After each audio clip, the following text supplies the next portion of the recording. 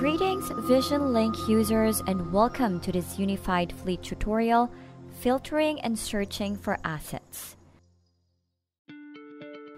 To filter any of your main pages, meaning fleet utilization or asset operation, you'll want to go to this icon, which is the global filter. Clicking on the global filter icon will pop up the filter dialog box. From here, you can easily select your filters.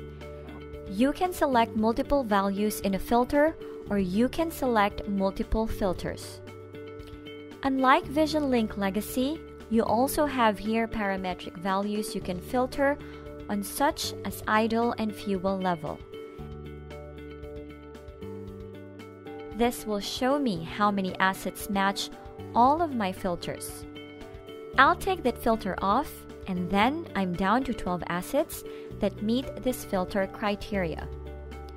Your filters will be maintained as you go across the other pages, so those 12 assets will continue to be displayed in the Utilization and Asset Operations pages as well. The Refine button gives you the ability to quickly clear your filters, and then you can reapply other filters if you choose to do so.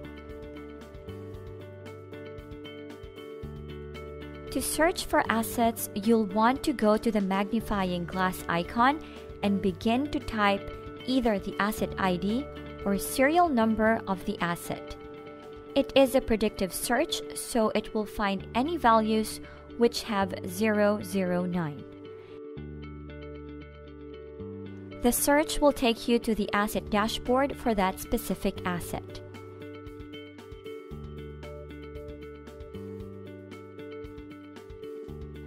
Returning to my fleet page, I can watch my filters from here or do my search. Filtering and searching for assets in VisionLink Unified Fleet. Thank you very much.